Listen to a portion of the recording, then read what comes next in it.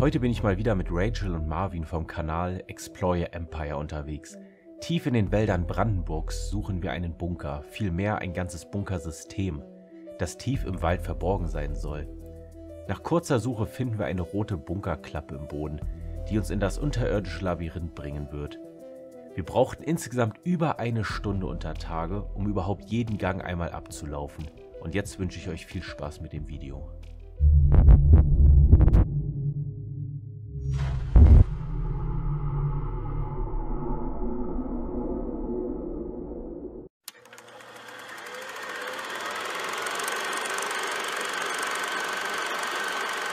So, wir haben den Bunkereingang gefunden. Und das sieht auf jeden Fall, boah, das sieht auf jeden Fall endzeitmäßig aus.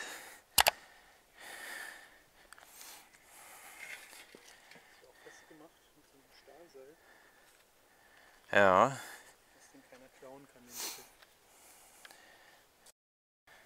Gehen wir mal los. Ach, in die andere Richtung geht es auch noch, ne? Da geht's auch noch ein Stück lang. Das sind die Technikräume, glaube ich.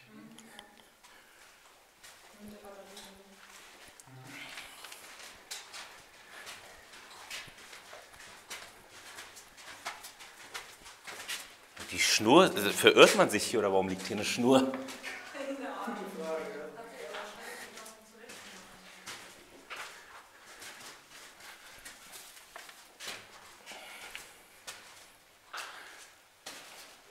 Was man natürlich im Bunker noch mal dazu sagen kann, ist auf jeden Fall, dass diese Die Fledermaus-Quartiere sind, Ah, die im okay. Nachhinein angebracht wurden. Und äh, wir gerade die richtige Jahreszeit haben, also im Sommer, und da ist dann halt keiner zu Hause. Ne? Sind die draußen, meinst du? Richtig. Das ist eben auch wichtig, weil wenn man im Winter reingeht, dann würde man sie stören. Hm. Regen sich halt viele auf. Ich habe auch schon gehört, dass da viele Anzeigen äh, rausgegangen sind. Gegen Naturschutzgesetz und so. Da sind Höhlen wild und Bunkern echt leider tabu. Ne? Ja. Ja.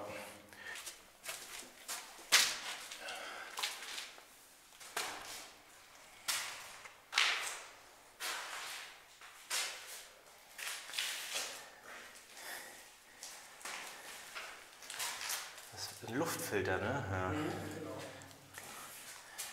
Krasses Teil. Das Ganze war jetzt von der NVA, aber die Luftfilter haben sie.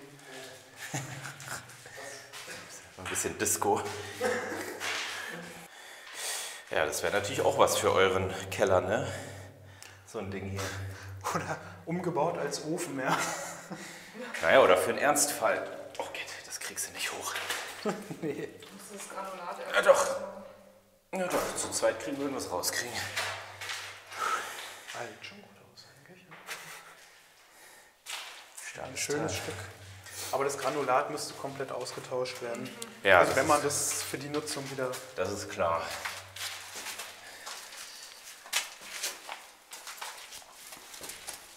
Genau, und hier sind halt einfach mehrere solche Räume. Und auch noch andere Filter. Es gab auch noch Räume, wo man die alten Liegen, also diese Gestelle, wo dann die äh, Matratzen drauf kamen, noch sieht. Aber da müssen wir einfach mal durchgucken. Es waren so viele verschiedene. Es ist auch nichts mehr drin.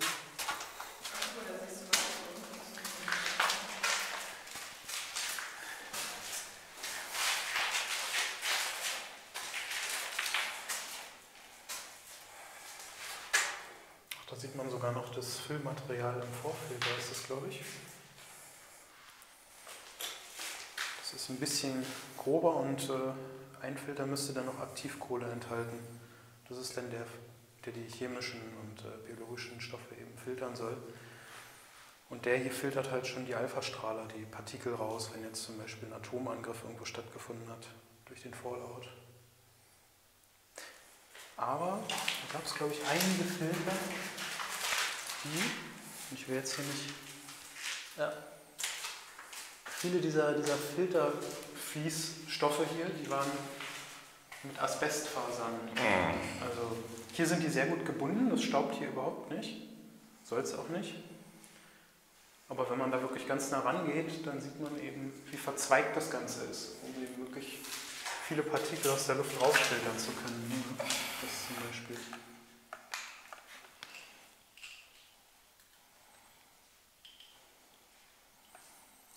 Das Licht ein bisschen, bisschen, ja, bisschen noch näher. Ja, so genau.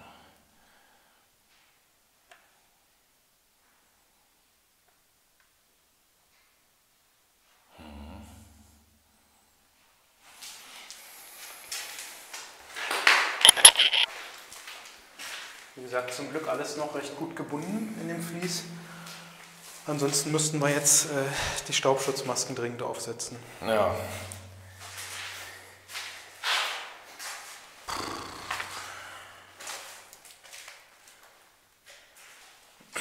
Also bequem waren bestimmt nicht die Betten. Nee. Sehen noch ein bisschen kurz aus. Ja.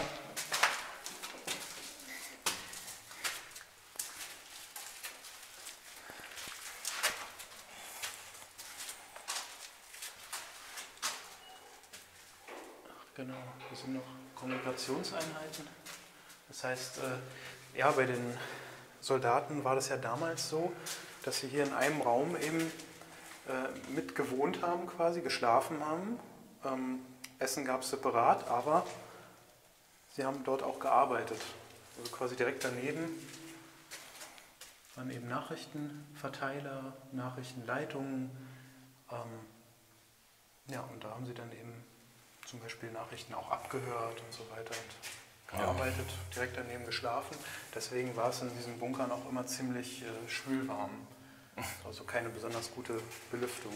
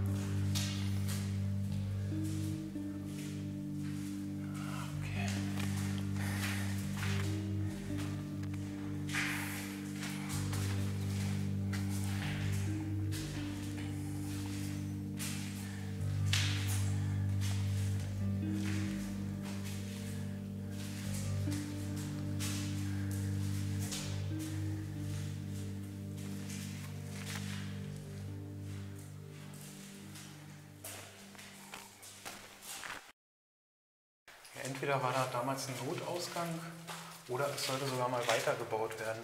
Weil in dem Bauwerk hier sollte es ja auch äh, ein zweites Stockwerk noch geben. Aber das wurde, also laut meinen Unterlagen, nie fertiggestellt.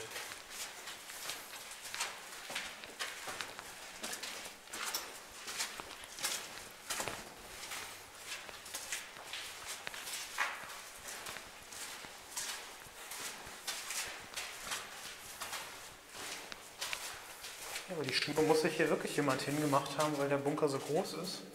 Und er anscheinend Angst hatte, sich zu verirren, oder?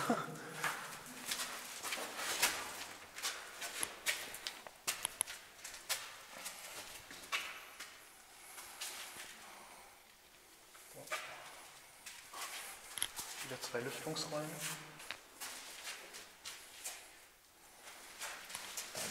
Alter, das geht aber auch noch weit.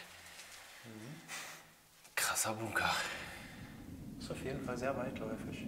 Und auch einer, einer der größten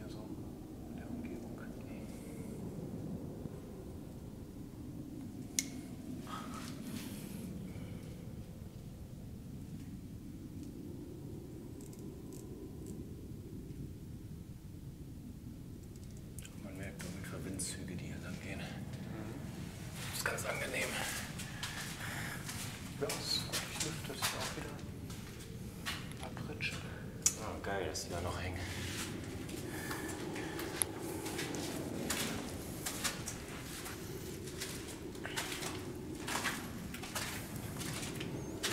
Hier ist es irgendwie noch besser ausgestellt, aber man sieht auch, dass es immer zwei Pritschen waren. Also mhm. man hat immer zwei Soldaten untergebracht. Klar, pro Schicht. Ne? Mhm. Einer hat gearbeitet, der andere hat geschlafen. Immer. Guck mal, hier macht die Decke aber keinen guten Eindruck mehr direkt über uns. Wurde, glaub mal, durch, durch Hitze oder so geschädigt. Ja, das sieht ja verbrannt aus. Aber krass, wie sich das Ding verschoben hat. Ja, das ist Plastik, das ist klar, dass das schnell schmilzt, aber wieso die so schräg ist? Boah, ja, stimmt, das riecht echt cool. Mhm.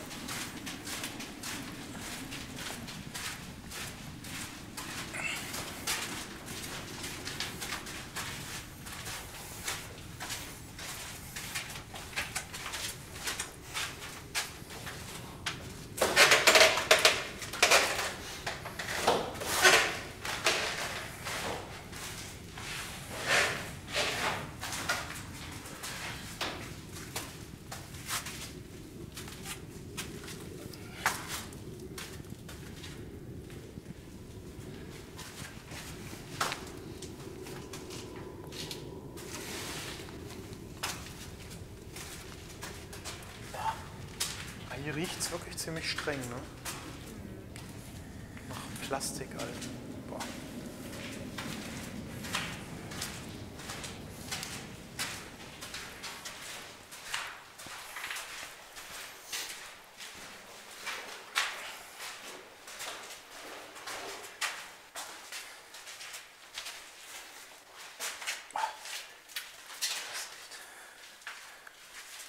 Alles noch von damals. Also bis auf den kleinen Müll hier, aber Ja. hier diese ganzen Kisten und das Zeug, was hier rumsteht, das ist alles noch original. Auch hier die Schalteinheiten. Und dahinter im Raum, was da steht, ist auch alles noch Originalinventar. Das haben sie wirklich da reingefeuert.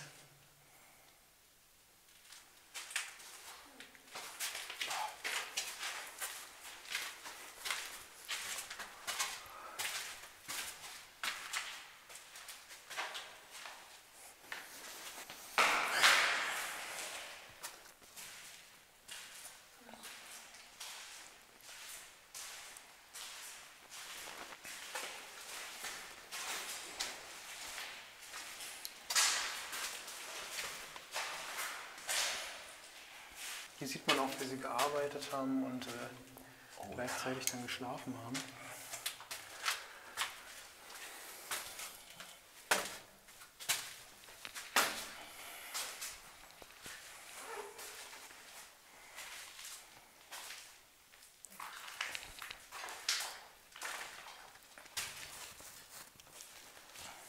Corona-Schutz. Ja, Corona könnte hier unten überall sein.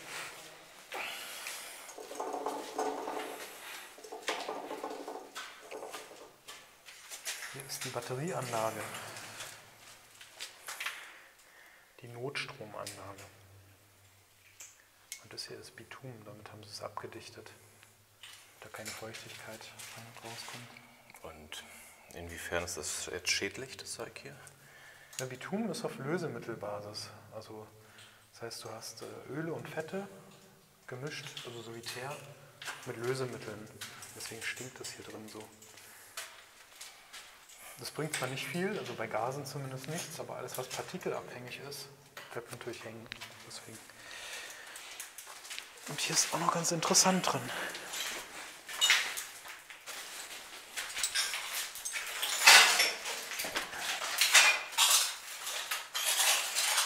Ist da noch was drin? Ja.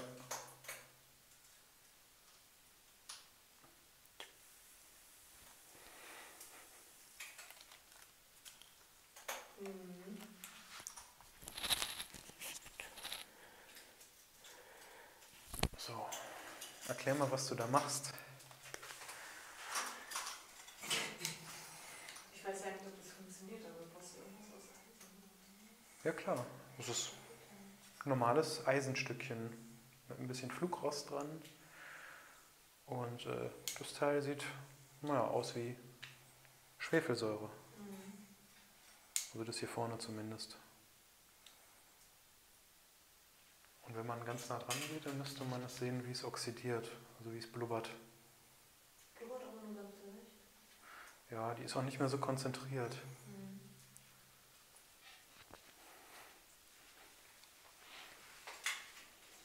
Das ist wie so ein. Das ist nicht mehr so wässrig, das ist so gelig.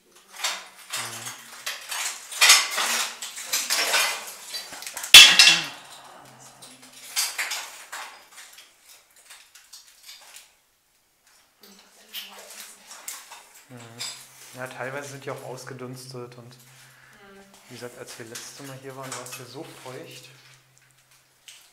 Da hatten sie sogar welche, die komplett ausgedunstet sind. Einzelne, wo Salzsäure drin war statt Schwefelsäure. Ähm, die sind mittlerweile ausgetrocknet, weil die komplett weggedunstet sind. Ist ja klar. Schwefelsäure ist viel stabiler und dunstet nicht aus. Drin. Ja. Deswegen nimmt man ja auch normalerweise nur Schwefelsäure. Aber Salzsäure kann man ersatzweise ja auch nehmen, wenn du einen Deckel drauf machst.